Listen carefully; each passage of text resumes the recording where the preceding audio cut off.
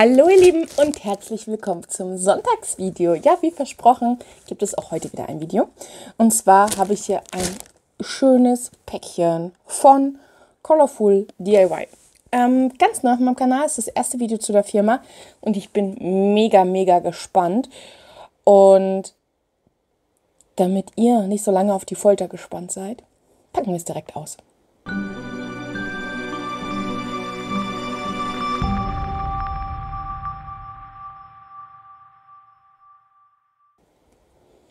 Gut, wir starten. Aufgeschnitten ist es schon. Und ich würde vorschlagen, wir holen jetzt nacheinander erst einmal alles raus. Und zwar haben wir, ich glaube sogar ein bisschen mehr, weil ich da echt nicht, echt nicht entscheiden konnte, was ich da nehme. Und deswegen habe ich mir eine etwas breitere Auswahl gegönnt, damit ich euch ein bisschen was zeigen kann. Einfach damit wir mal schauen können, was so bei dem Shop geht. Weil wie gesagt, es ist ein ganz neuer Shop, den ich jetzt austesten darf. Also für mich ein neuer Shop. Vielleicht hat der ein oder andere ja schon von dem Shop auch was gesehen. Für mich ist es allerdings neu. Was ich euch allerdings auch noch mitteilen kann, denn ich habe letztens eine E-Mail bekommen bezüglich der Umsatzsteuer in Deutschland. Und zwar hat mir Colorful DIY, ich glaube nicht nur mir, sondern sämtlichen Kunden mitgeteilt, dass sie ab sofort diese Umsatzsteuer übernehmen. Das heißt, wenn ihr dort bestellt, braucht ihr keine Bedenken haben, dass das nicht durch den Zoll geht. Die versteuern es vorab und dann kriegt ihr die Ware direkt nach Hause geschickt.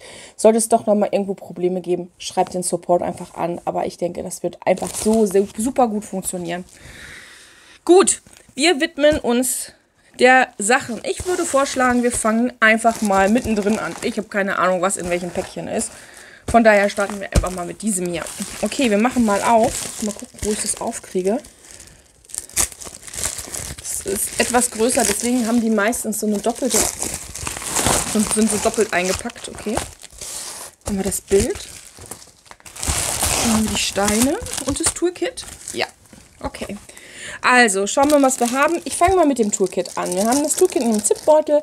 Wir haben ein weißes Schiffchen. Mehrfachaufsetzer ist drin. Ein Mehrfachaufsetzer ist auch an dem Stift dran. Wir haben eine spitze Pinzette, ein Stift mit einem ähm, Griffstück drauf, ein großes Stück Wachs. Ja, passt für mich super als Standard-Toolkit. Finde ich sehr gut. Ähm, ist auch für Anfänger super gut geeignet. So, wir haben Zipbeutel mit Steinchen. Das finde ich sehr, sehr cool. Wie ihr ja wisst, spart das auch eine Menge Plastikmüll. Deswegen finde ich das mega gut und es, ihr seht, es ist sehr lila und pinklastig. Ich packe sie euch aber gleich mal aus, aber erstmal würde ich sagen, machen wir das äh, Bild auf. Ihr müsst euch nicht wundern, ähm, diese Knicke kommen davon, dass es bei mir ziemlich lange gelagert hat. Aber ich bin froh, dass es halt gegossener Kleber ist, deswegen ist das gar kein Problem. Die, ähm, die Leinwand ist auch nicht sehr fest, sie ist schön weich und hier könnt ihr das Motiv schon mal sehen. Das ist nämlich ein Löwe. Löwe in so, ja, echt geilen Tönen gehalten. Das ist mir schon so oft über den Weg gelaufen und jetzt habe ich gedacht, komm, nehme ich das mit. Und wie ihr sehen könnt, ist das ein Bild in 40 x 50, steht zumindest drauf. Wir messen es auch gleich aus. Ich rutsche euch mal noch ein Stück nach hinten. So, damit ihr nämlich ein bisschen mehr von dem Bild seht. Und ich finde, das ist von der Auflösung her schon richtig cool. Gefällt mir sehr, sehr gut. Doch. Sehr cool. was man da halt cool machen kann, man kann hier so ein bisschen mit AB-Steinchen spielen. Auch bei diesem Bild würde es vielleicht gehen. Wo jetzt genau und welche Farben man austauscht, müsste man im Zweifelsfall sich dann mal wirklich überlegen. Kann ich aus dem Kopf jetzt auch nicht so sagen. Ich müsste dann genau gucken, welche Farben und wo und wie. Was ich einzig habe hier ein bisschen Dreck auf der Leinwand. Das kann man aber abmachen. Das ist so ein bisschen Flüssigkleber, der so ein bisschen ja, sich verabschiedet hat. Also der da sich irgendwie festgehaftet hat. Aber ist nicht schlimm. Die Knicke gehen auf jeden Fall raus. Also müsst ihr euch keine Sorgen machen. Ist Flüssigkleber. Super, super. Wir haben äh, 33 Farben. Mmh, haben Zahlen, Symbole und Buchstaben. Und der Druck ist auch sehr gut. Ja, ein sehr, sehr guter Druck. Kann man gar nicht meckern. Kann, man kann alles super hervorragend lesen. Sehr cool, gefällt mir. gefällt mir. Ja, jetzt gucken wir uns die Steinchen an. Erstmal muss ich diese Tüte aufkriegen. Okay. Also ich finde es ja immer ganz toll, dass, äh, dass wir als ähm, YouTuber halt auch Firmen ausprobieren dürfen. Weil bevor ihr irgendwo, vier, irgendwo mein Gott, Schwach, Sprachschwierigkeiten in der Vorbereitung. Bevor ihr irgendwas ausprobieren müsst, tun wir das für euch. Und das finde ich eigentlich ganz praktisch, dass wir es auch können und die Möglichkeit dazu haben. Und so könnt ihr euch für euch entscheiden, wollt ihr oder wollt ihr nicht. Und deswegen finde ich das mega gut. Also wir haben jetzt ziemlich viele, seht ihr ja, blau, lila, schön ein paar helle Töne. So, jetzt gucke ich mal die helle Farbe an. Und auch die sieht wieder verdammt nach Harzsteinen aus. Ich kann da keine, keine, keine Pünktchen auf der Rückseite erkennen. Die sieht sehr, sehr gut aus, die Farbe. Wir haben die 939. Hier sind wir aber, sind wir hier, wo sind wir unterwegs? Ich gucke mir die mal ganz kurz von alleine.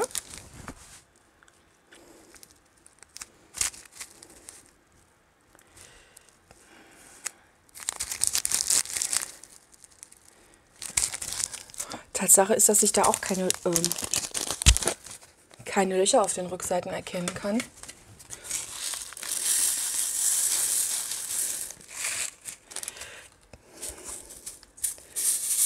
So, jetzt könnt ihr mal hier nochmal die Rückseiten sehen.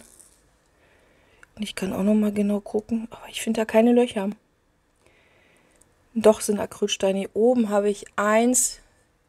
Da könnt ihr sehen, da da hier oben an der Ecke, da, da könnt ihr ganz gut erkennen, dass es doch Acrylsteine sind. Aber trotzdem sehen die ganz gut aus. Ich muss jetzt mal kurz wieder was abschütten. So, dann kann ich euch nämlich die Steinchen noch mal im Schiffchen zeigen. Und die sehen sehr gut aus. Boah, guckt mal hier, wie schön an der Schnur aufgereiht. Sehr, sehr geil. Und Glanz haben wir auch. Also Qualität ist eigentlich nicht schlecht. Ich würde tippen, dass es sich um Acrylsteine handelt, aber die sehen sehr gut aus für Acrylsteine. Und im Endeffekt ist es ja egal, ob es Harz- oder Acrylsteine sind, solange die Steine gut sind. Wenn man Harzsteine hat, dann braucht man weniger nachgucken, ob die Steine gut sind, weil die sehr, schon sehr gut sind. Harzsteine sind von der Qualität her oft sehr viel besser als die Acrylsteine. Aber es gibt auch sehr, sehr gute Acrylsteine. Also davon mal ab. Deswegen würde ich nicht unbedingt Acrylsteine in jedem äh, Sinne verteufeln, sondern es gibt durchaus auch sehr, sehr gute Acrylsteine. Und die sahen jetzt wirklich gut aus. Von daher würde ich da jetzt, ähm, finde ich das gar nicht schlimm. Also man muss ja auch mal überlegen, über, überlegen, ne? Diese Kits, die wir hier vorstellen, diese kosten ja teilweise echt nicht viel Geld.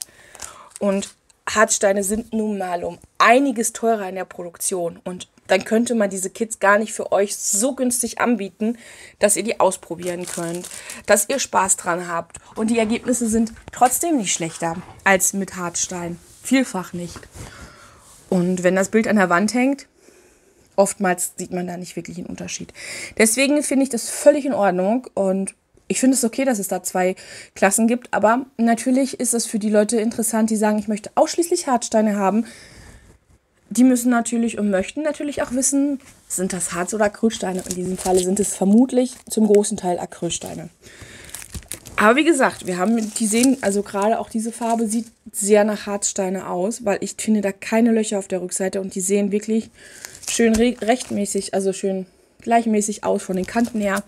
Gefällt mir sehr, sehr, sehr, sehr gut. So, jetzt habe ich ein Problem, jetzt kriege ich das wieder nicht eingepackt.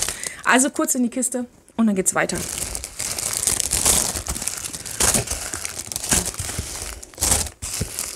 So.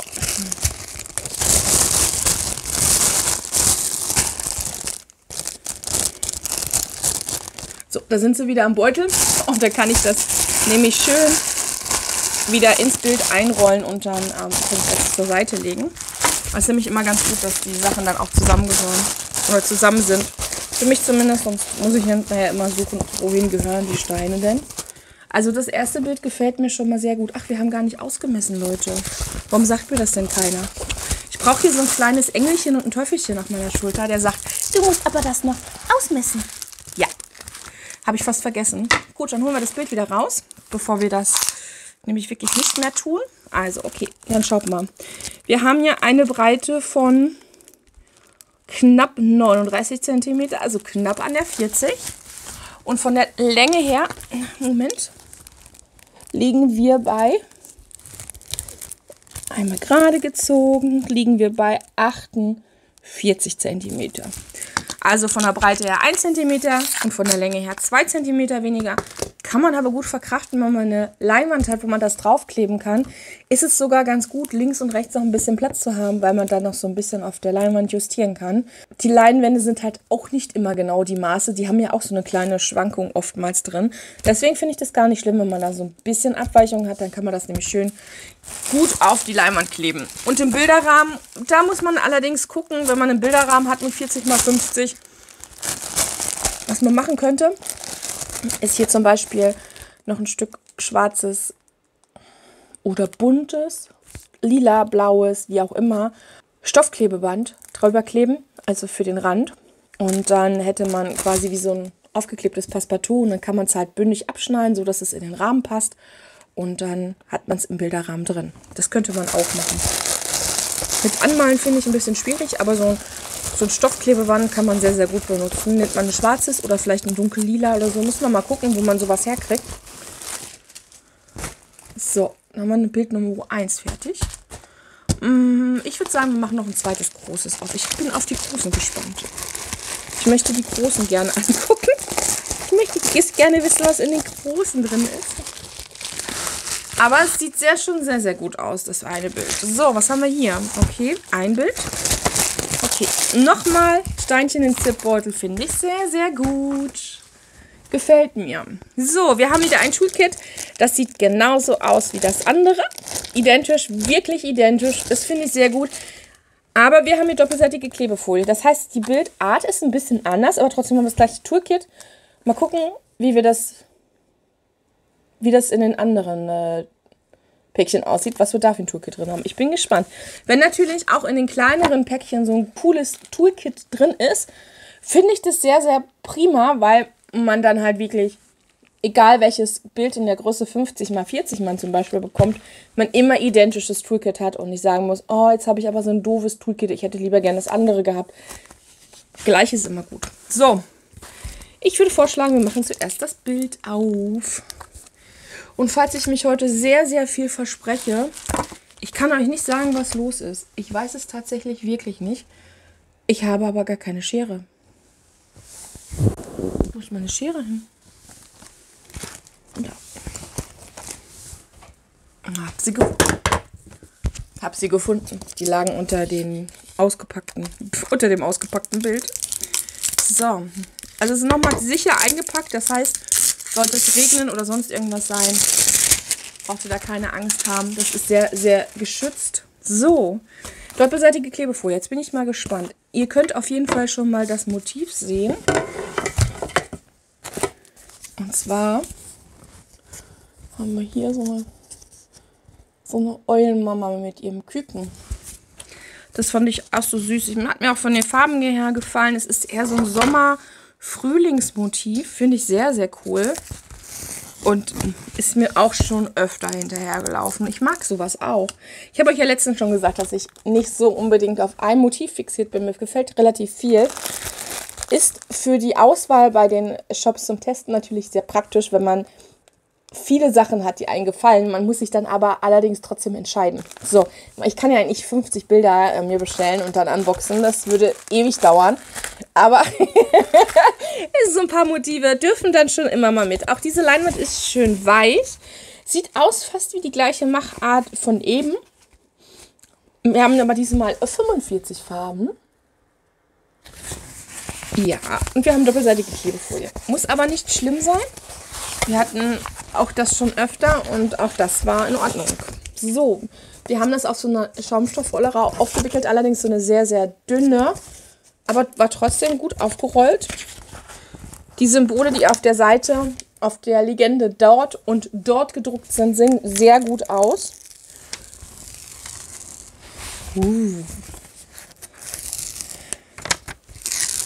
Oh, ist das schön. Oh, das gefällt mir total gut. So könnte man jetzt mal Schnipp, Schnipp machen und es ist fertig gepainted. Das wäre toll. Aber das gefällt mir sehr, sehr gut. Was ich mir gut vorstellen könnte, ist, dass man hier die Blümchen, die unten sind, die ihr gar nicht seht. Ich mache euch das mal oben zu, dann, dann, damit ihr das unten sehen könnt. Dass man die Blümchen, die hier unten sind, schaut mal, die Blümchen, die wir hier haben, da kann man sehr, sehr schön AB-Steinchen einbauen. Sehr, sehr gut. Weil ähm, das mit den Blümchen halt auch total gut passt, ne? Gefällt mir, also das, was ich jetzt schon sehe, gefällt mir außerordentlich gut. Also es ist eine sehr, sehr tolle Auflösung.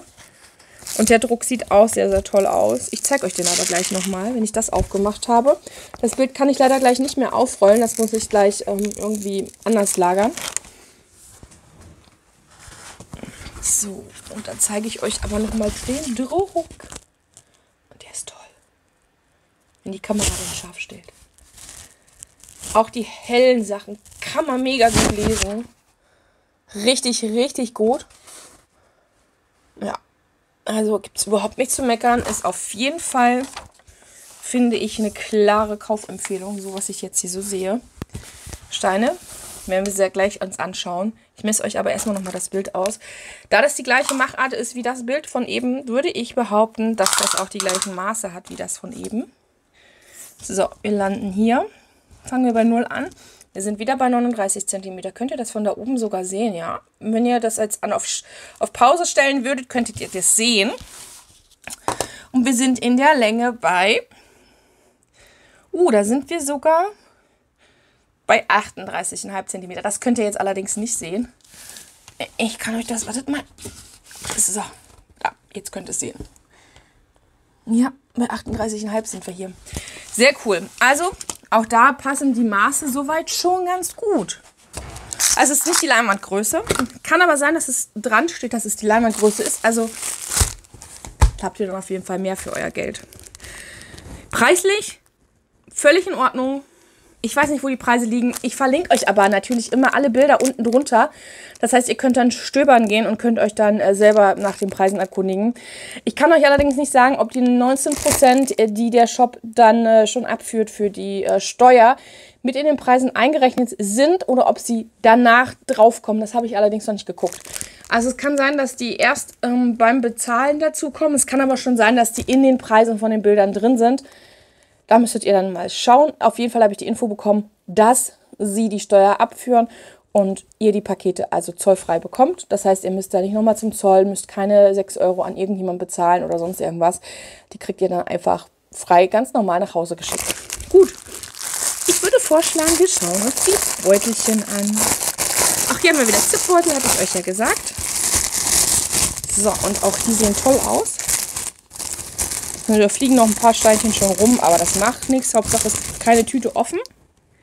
Kann schon mal sein, dass beim Abpacken hier oben in der Ecke mal irgendwie einer hängen bleibt, der jetzt lose ist. Sehr coole Farben. Also sehr viel zarte Töne. So hellrosa, ein bisschen ins Pink gehende.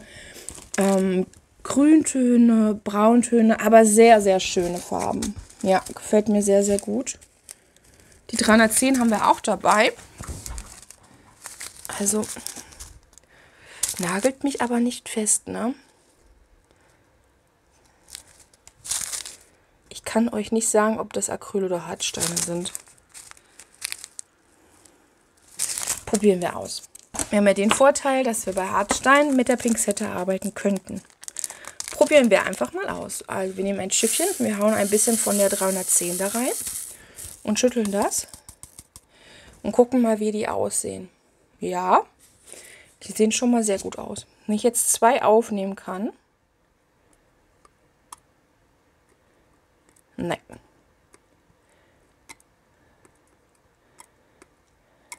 Also ich kriege die nicht aufgepickt. Also ich würde behaupten, entweder, doch, guckt mal. Also, uch. Also entweder haben wir eine etwas, ich sage jetzt mal, schlechtere Qualität von den Hartsteinen her. Aber ich bin eigentlich nicht zu doof, die zum aufzunehmen.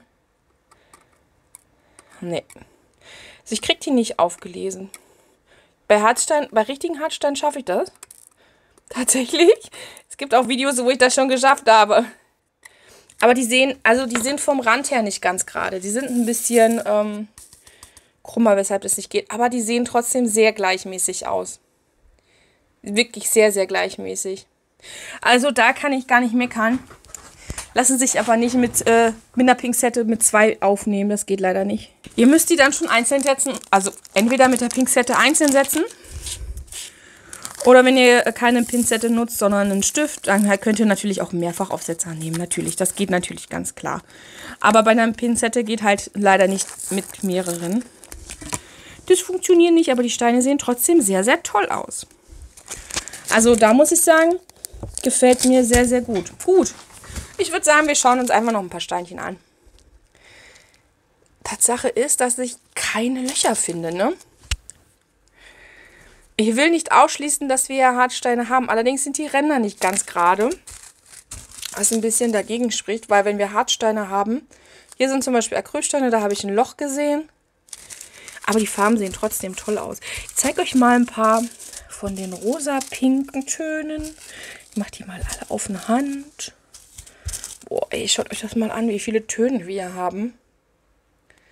Krass. Noch mehr Pink, noch mehr Pink, noch ein Alt-Rosé-Ton, noch ein Pink. Mein Gott. Ich meine, bei 45 Farben, da dürfen auch schon mal ein paar mit bei sein, ne? Aber die sehen sehr toll aus, die Steine. Ich habe jetzt keine Steine gesehen, wo ich jetzt so Namen oder irgendwas dabei hatte. Die sehen richtig toll aus. So, dann haben wir ziemlich viele Grüntöne. Ihr seht das jetzt einfach mal. Ich habe euch die mal ausgebreitet, ja.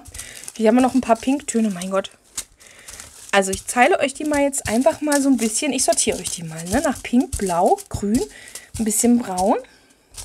So irgendwas in der Mix, Mix, Mix, Mix, Mix mein Gott, Mix-Mischung. was ist denn heute mit mir los? Ich kann überhaupt nicht mehr reden. Ich habe das Gefühl, ich habe irgendwas getrunken, aber Leute, ich bin stocknüchtern. Wirklich nüchtern bis zum geht nicht mehr. Ich habe nichts getrunken, aber ich komme mir echt so vor. Ich bin voll am, am, am Rumverhaspeln und hin und her. Aber ey, das ist doch. Guckt euch das mal an. Jetzt ziehe ich noch mal ein bisschen runter, damit ihr es besser sehen könnt. So, schaut euch das mal an. Das sieht mega geil aus. Richtig viele Farben, viele Nuancen. Schön. Gefällt mir sehr, sehr gut. So ein paar einzelne Steine, die hier rumfliegen. Oh, hier ist einer drin. Aber das ist überhaupt nicht schlimm. Geil. Gefällt mir sehr, sehr gut. Klebeprobe brauche ich nicht machen. Also doppelseitige Klebefolie, die ist wirklich sehr, sehr gut. Also ich habe jetzt mal kurz mit dem Finger drauf gefasst. Wartet, ihr hört es jetzt. Psst, mal ganz leise.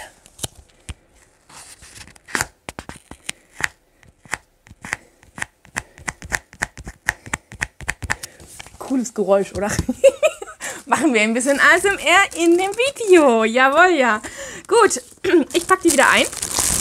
Und dann widmen wir uns dem kleinen Bild, würde ich vorschlagen, bevor wir dann zum letzten großen kommen. So, einmal alle rein in die Tüte. Das Bild kann ich jetzt allerdings nicht aufrollen. Das heißt, hier muss ich mir merken, was es für eins ist. Und nachher auch gut beschriften. Die ähm, Beutelchen werde ich mir in so eine Hülle packen. Hier in diese, ich zeige euch die mal kurz. In eine von meinen Hüllen werde ich mir reinpacken. Ja? Bei mir, zack, da kommen die Steinchen dann rein. Ach, wisst ihr was, die packen wir direkt rein. Muss ich das doch nachher nicht machen. Für alle, die schon mal wissen wollten, wieso, was macht die denn immer mit den Hüllen? Ja, ganz easy. Ihr nehmt einfach so eine Hülle und dann schmeißt ihr einfach die Steine da rein. In Zipfoil-Tüten, das, das passiert auch überhaupt nichts. Die passen da auch vor allen Dingen alle rein. Bilder 50 mal 40, also bis zu 50 mal 70 passen die Steine in Ziptüten eigentlich ja ganz gut rein. Und größere, entweder bräuchtet ihr dann zwei Taschen oder eine größere A4-Tasche, die habe ich aber links nicht. Wenn da mal Bedarf sein sollte, dass ihr auch gerne solchen, solche schönen Taschen in A4 haben möchtet, dann lasst mir gerne mal einen Kommentar unten da. Vielleicht schaffe ich es bis zum Jahresende dann nochmal welche zu organisieren. Aber ich mache das dann zu, mache mir noch einen Zettel rein, was da drin ist und dann packe ich diese Taschen einfach weg, weil die sind so robust, da kann ich ach, hunderte Stück aufeinander stapeln und da passiert einfach nichts mit. Ne? Und man hat diese Plastikverpackung nicht und dann geht die auf und dann putzelt irgendwas raus und dann sucht man wieder hinterher was. Will keiner haben, deswegen finde ich diese Taschen für mich, ganz für mich alleine, mega praktisch und ich liebe sie einfach. Ja, So, ich würde vorschlagen, das Bild packe ich jetzt auf Seite. Mein Schreibtisch auf der Seite wird immer voller.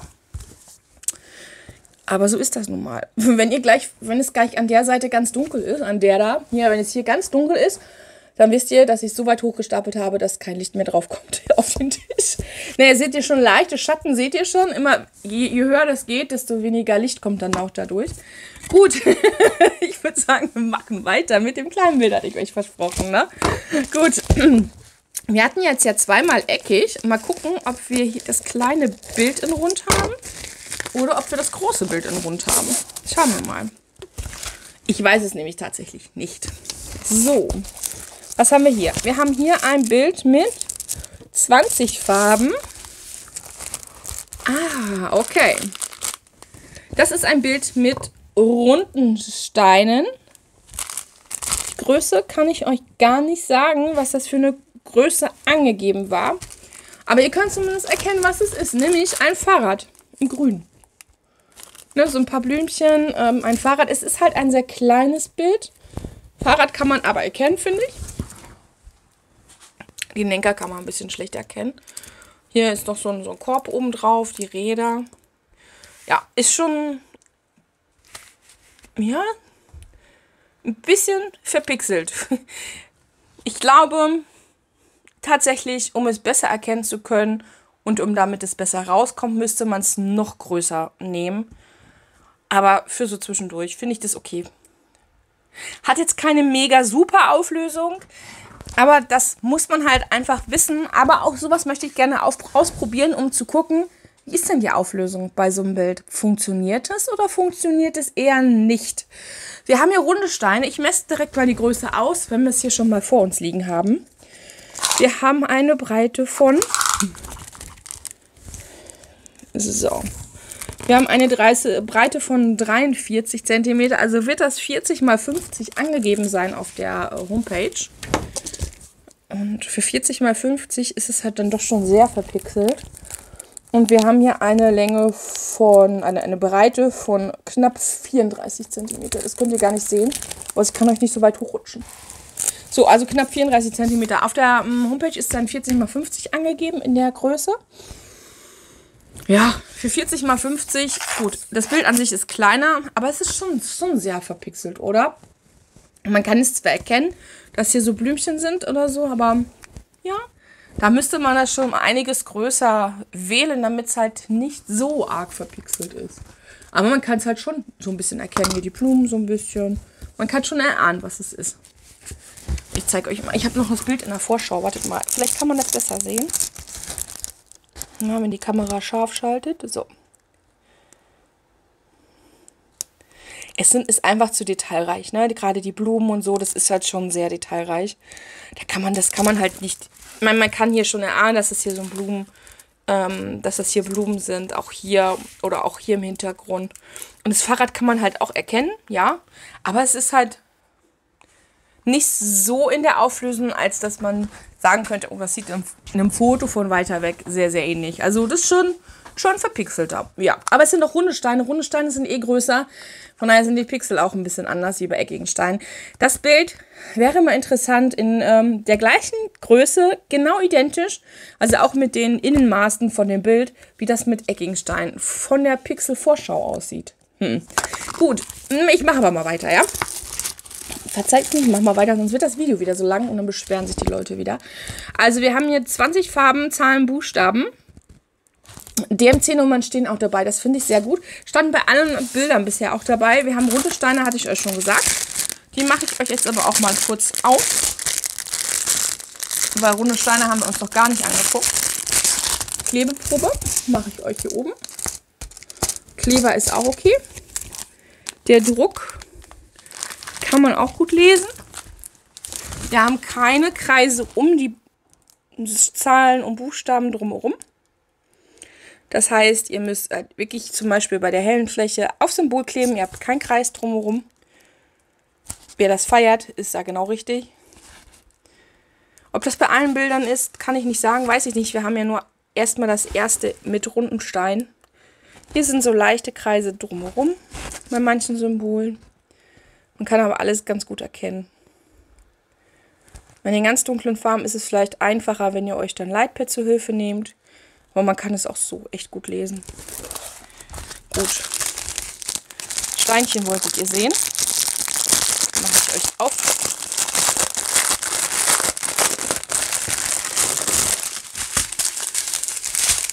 Und die fahren wir mal im Schnelldurchlauf. Es sind Acrylsteine. Immer schön pro Farbe abgepackt. Das heißt, könnt ihr auch easy benutzen. Umfüllen und dann benutzen oder wieder zukleben. Sehr cool. Oh, die lila Töne sind schön. Und noch ein bisschen grün. Gefällt mir, aber sehr gut. Also die Steine sehen wirklich sehr, sehr gut aus. Sie sehen auch schön rund aus. Ich äh, zeige euch das nochmal an dem Lila. Weil die gerade vor mir liegen. Die sehen schon schön rund aus. Daneben eignen sich sogar noch besser. Da könnt ihr es sehen. Es sind zwar Acrylsteine, aber die sind schön rund. Und bei runden Steinen möchte man ja auch runde Steine haben und keine eckigen. Deswegen ist es schon gut, wenn es äh, rund ist. Also wenn die Steine rund sind. So, dann packen wir das eben schnell mal wieder zusammen. Und es wäre, glaube ich, schlauer von der anderen Seite einzupacken. Weil wir nämlich hier das Vorschaubild haben. Das kann man nämlich dann noch sehen. Und dann darf das auch wieder in die Hülle zurück. So, gut. Und da war mein Schiffchen abgestürzt. Achso, ich habe euch noch was unterschlagen. Bei dem kleineren Bild oder bei dem Bild mit den runden Steinen war hier nur ein ganz einfaches Toolkit dabei. Also ein einfaches grünes Schiffchen, ein Stift und ein Stück Wachs. Ganz einfach. Also vielleicht wird auch unterschieden zwischen rund und eckig. Ich habe keine Ahnung. Und die haben jetzt aber noch mal ein großes Bild mit eckigen Steinen, hoffe ich mal. Mal gucken. Und mal gucken, was wir da für ein Toolkit haben. Ich hoffe mal, dass das noch eckig ist. So.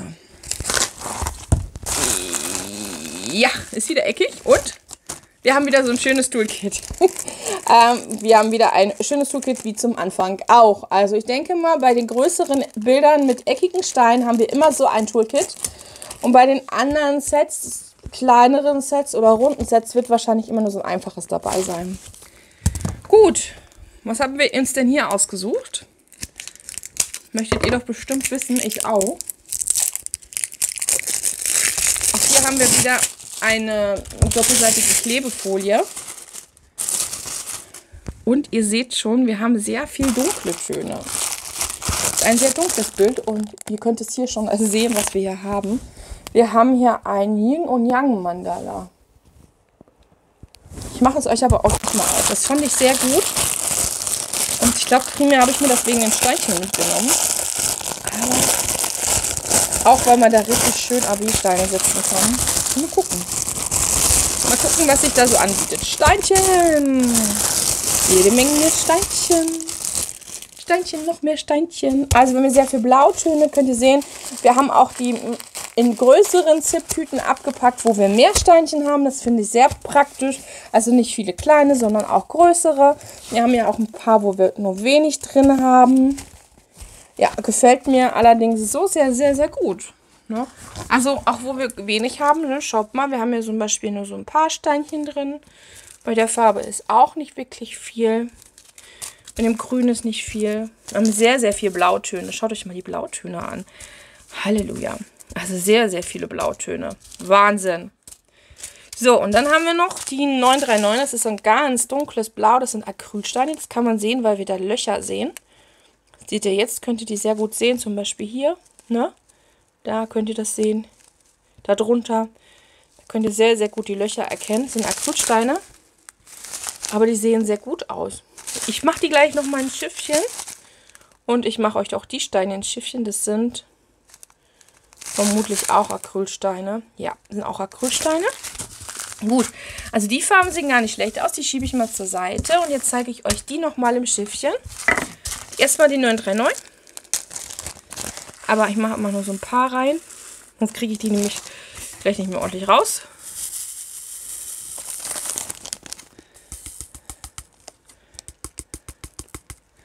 So, Könnt ihr das sehen? Sehen auch sehr, sehr gut aus. Machen einen guten Eindruck. Keine Nasen dran, nichts. Ich habe jetzt einfach jetzt nur welche reingetan. Ne? Also jetzt nicht irgendwie rausselektiert oder so. Wozu auch?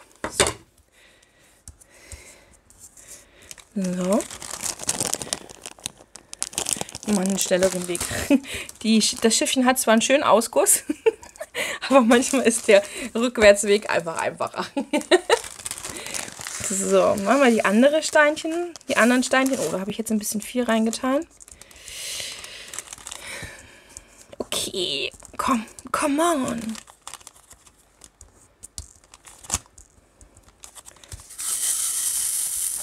So, auch da kann ich euch die Steinchen noch mal zeigen.